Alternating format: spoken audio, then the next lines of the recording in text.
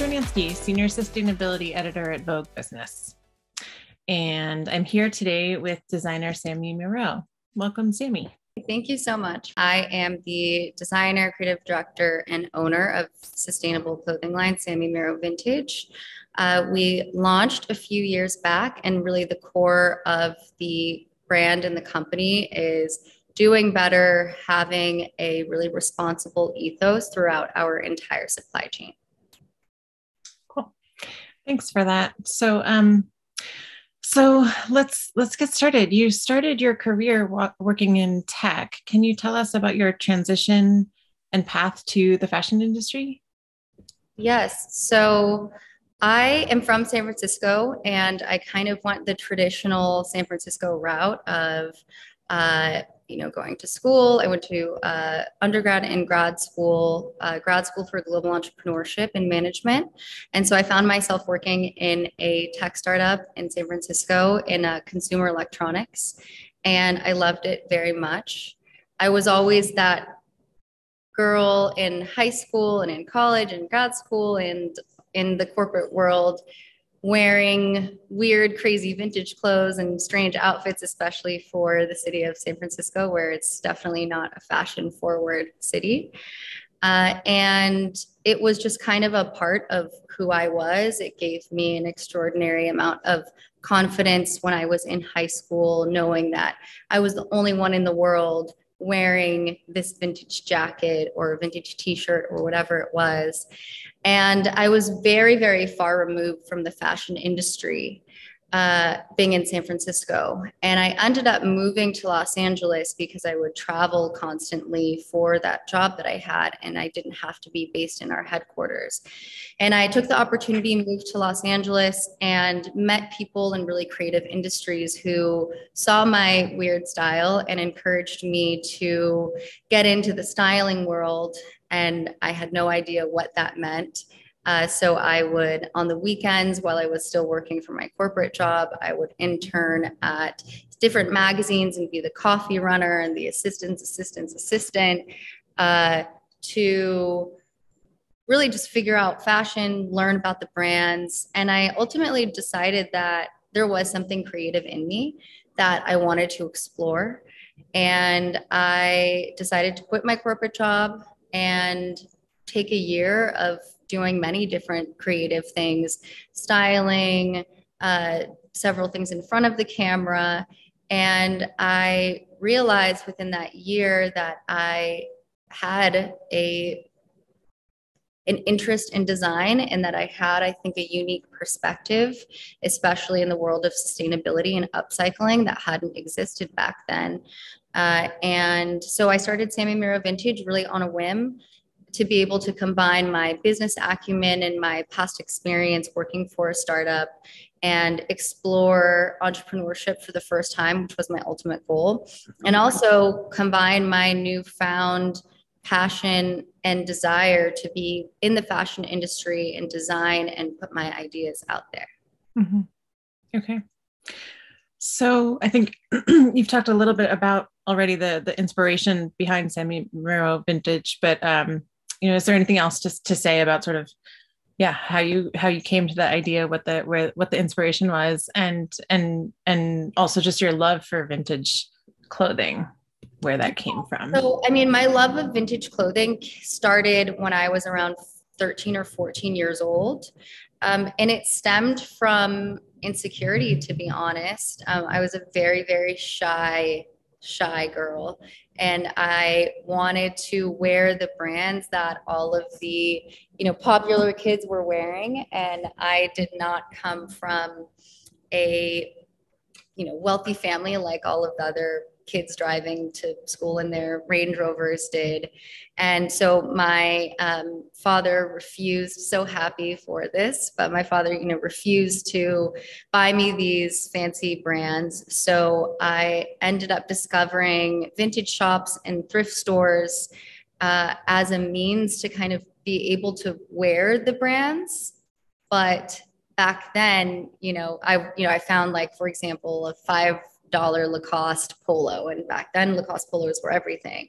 But my Lacoste polo had sun discoloration and sun damage and holes everywhere, which back then was not the cool thing at all. You just looked crazy in that. And it was, it was that shirt and the following vintage items that I ended up purchasing that made me recognize the fact that everybody else in school was wearing their brand new with tag items and I, mine was completely different than theirs and so although it was looked down upon from the my peers i found the beauty in knowing that there was a story behind the garment that i was wearing and that the wear and tear of it made it that much more special.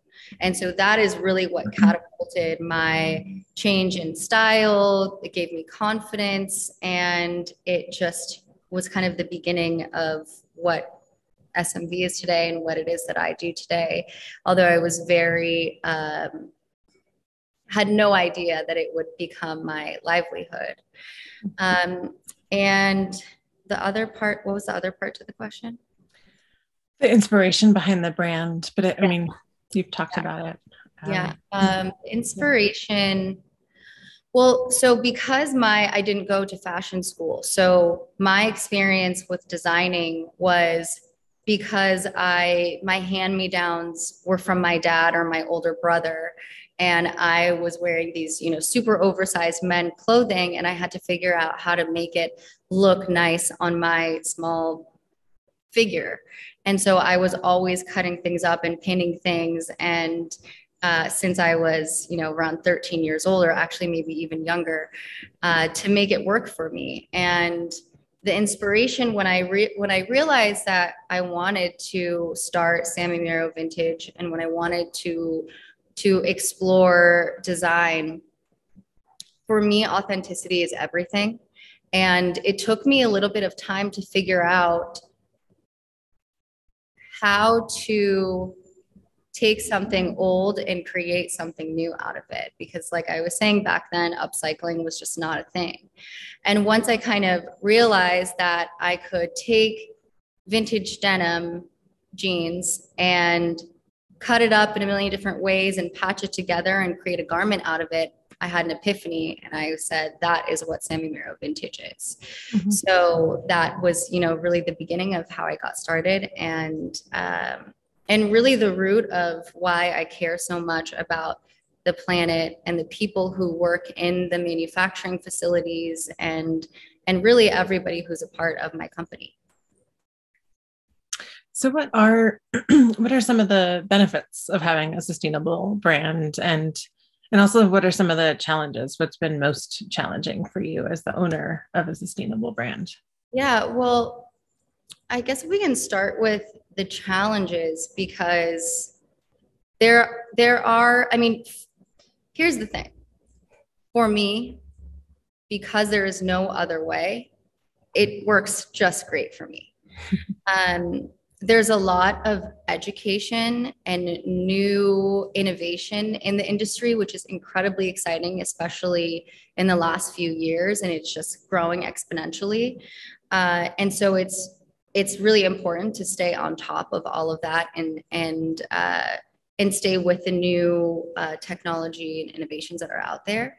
Uh, and it, I would say, the biggest challenge that that most brands would experience when transitioning from doing things the traditional way that's horrible for the planet into sustainability is that it's a lot more expensive and takes a lot more effort.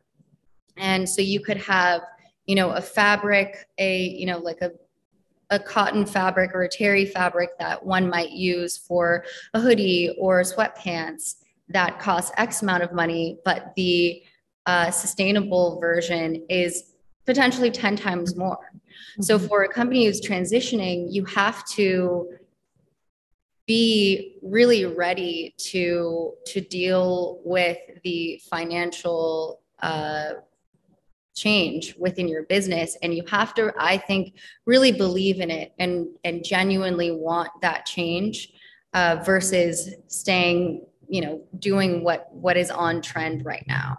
Mm-hmm. and uh, you know the the deeper you go into eco consciousness the more effort and time and money that it will take uh, another example is that there are a lot of sweatshops out there even domestically and in in los angeles uh, as well.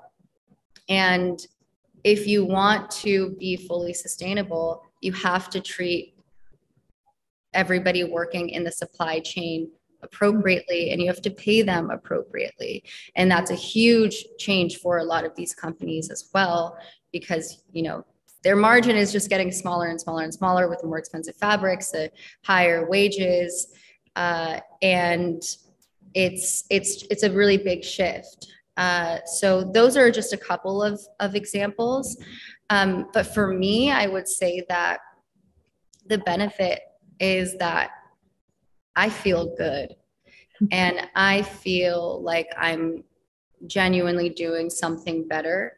And I know that what my brand is doing is has a, a trickle up and trickle down effect to larger brands who are seeing a new way of doing things as well as new smaller brands starting starting their their business for the first time and saying, you know, this is you know potentially what Sami Miro Vintage is doing.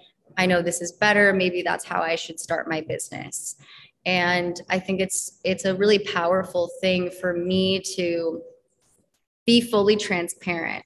Uh, this year, we are starting a transparency program where we're essentially laying out every step of the way how we are doing everything and um, our supply chain is just i'm i'm i'm really proud of it because there's no part of the supply chain that is harming the planet and you know we we choose responsibility in every step of the way as best as we can and as um, and everything that we have access to. So it makes me feel really proud.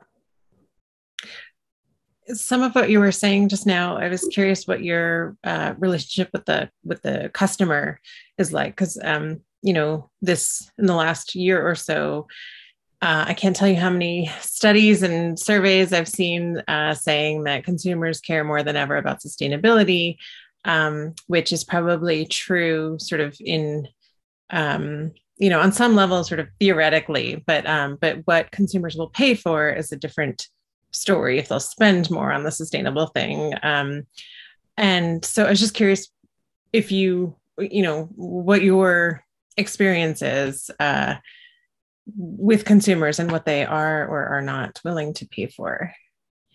Uh, I mean, that is definitely an interesting study.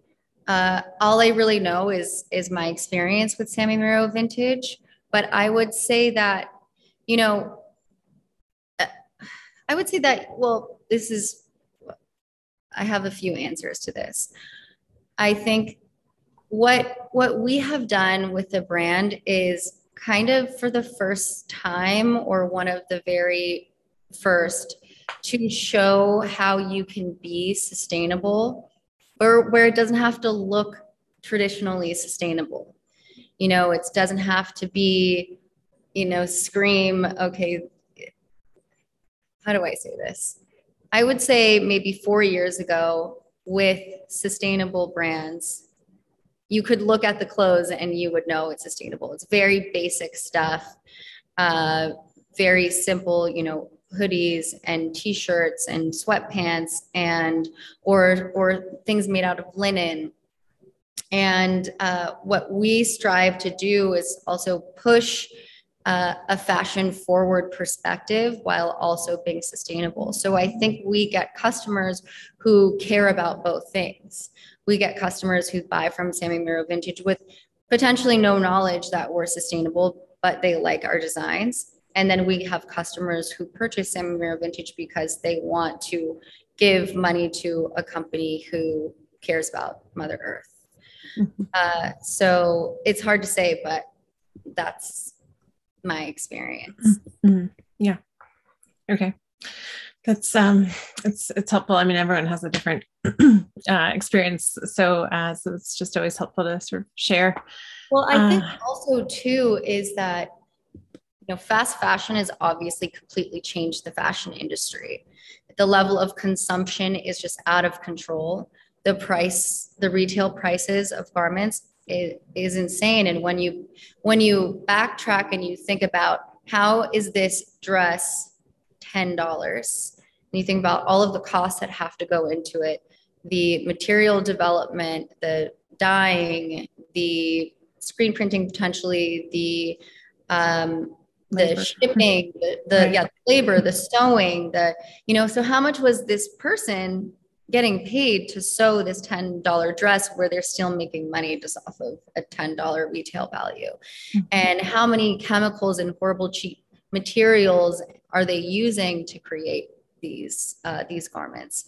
Mm-hmm. So the the issue with that is obviously the you know the landfills the the pollution the chemicals going into our water systems into the air with the microfibers it's also that it's it's skewed the consumer's perspective that things can cost less and potentially should cost less and why doesn't everything cost this little? Uh, so it also is going to take a lot of educating to the masses and why it's so detrimental and horrible to the planet and why you shouldn't support support these fast fashion companies uh, but it will there is a learning curve and i think it will take time. Um, it makes me very happy to know that people are caring more and they are more knowledgeable about it. But i think the um, the magnitude of how bad it is for our planet hasn't really been hasn't really been publicized in the way that it should. Mm-hmm. and i think that we're going to need uh, uh, you know laws will need to be made i think the government potentially will have to get involved in order to really crack down on on the uh, supply chains of these uh, clothing companies. Right, right. Well, that's a good segue. I think just you know your your comment about how what the what the impacts are of the industry um, on the planet. So, can you just talk about what you know? Why is it important for the fashion industry specifically to adopt more sustainable practices and you know make changes that are that are better for the planet? Yeah, so I definitely named a few reasons why, but you know, overall, the fashion industry is, is one of the most detrimental to our planet. And that comes with all of the pollution, that comes with uh, all of the overconsumption and the extraordinary amount of, you know, it's like billions of pounds that are in these landfills because you buy a cheap garment, you wear it once, it falls apart, and you throw it away. And all of the billions of people out there doing that creates an extraordinarily unhealthy amount of waste that our earth is not built for. Mm-hmm. Uh, and uh, also, like I was saying, garment workers. Last year, we were part of the Garment Workers Protection Act in uh, in getting the in getting it um, passed and in Los Angeles specifically with all of our uh, sweatshops that are here. So now it's an insane thought to me, but now garment workers in LA are getting paid minimum wage at least like everybody else who works is getting paid. Mm-hmm. Uh, and you know the treatment of these people who are taking ideas and the ones bringing it to life deserve to get paid correctly. Mm-hmm. And uh, did I miss something? Did I answer that? we can come back to it. um, can always add it later. So, um, uh, what advice do you have for for brands that are looking to incorporate sustainability? The advice that I would have for brands who are looking to incorporate, incorporate sustainability is educate. Step one, educate yourselves on why it's important, read the statistics, and educate yourself on all of there's infinite amount of ways to incorporate sustainability obviously the more the better uh, and figure out what works best for your business and and potentially give a timeline to we we want to incorporate these 10 steps. How long will it take to get there and what can we start doing now?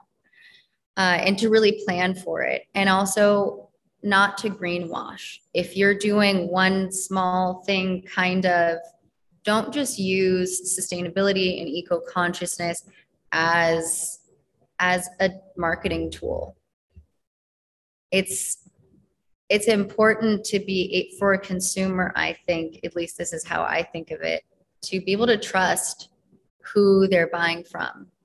And greenwashing and trying to use this label of sustainability because it's trending and you might be able to sell more clothing doing it that way you know it really also just makes it harder for the brands who are actually doing it and not greenwashing.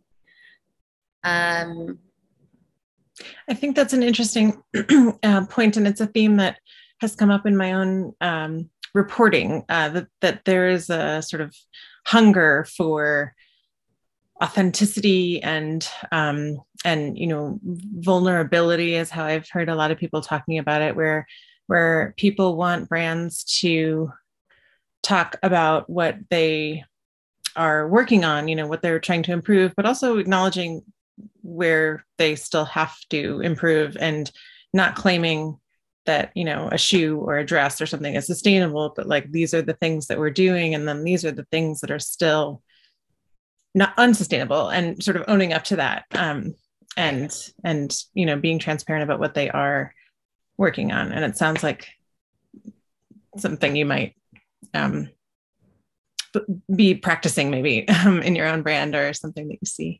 Absolutely. Uh, like I said earlier, we strive to be eco conscious in every step of our supply chain. And I would say, I mean, don't quote me on this right now because we are working on our our sustainability or excuse me we are working on our tra- transparency plan um, which includes uh, carbon emission footprint and everything like that but i would say that you know we are 90 plus percent doing things the making the sustainable option to do things. And then the things that we're not we're currently working on how to make them sustainable. So we are very very very high up there when it comes to to that and incorporating it in every aspect that we can.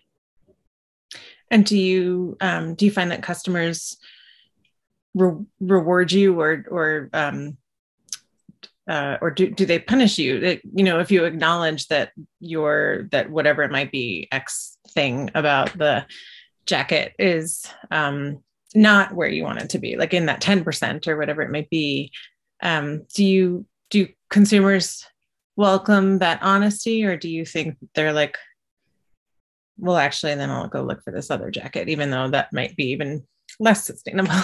Right right I, I have not experienced that at all. I think that our uh, customers are extremely supportive of all of the things that we're doing because it's so much more than almost everybody else. And I think that they, if anything, appreciate knowing which parts are we're working towards becoming more sustainable in. But I think your point is a really important one is not claiming more than what you are actually doing because out of fear potentially that people may come after you for those things. Because it's i don't know that it's possible to, for any industry to be 100% sustainable if you are a growing scaling business. Mm-hmm. but it's been a very exciting process for us as we've been growing tremendously in the last two years to have to reconfigure and rework our ways of doing things on a small scale and make it work on a bigger scale. And learning about all of these things and and the new innovations out there is so exciting for me and so fun for my team as well. And we're really just a group of people in the company who all genuinely care about the ethos and and the decisions that we make even if it takes you know my uh, fabric sourcer a lot more time and a lot more due diligence to find a specific fabric or, or way of making a fabric than it would to not do it. We all genuinely believe in it and in the process that comes with it. Mm-hmm. Yeah. Well, great. That's um, it's a it's a it's an inspiring note to end on. So thanks, uh, thanks, Sami. This was it was great talking with you. Yeah, thank you so much. It was such a pleasure.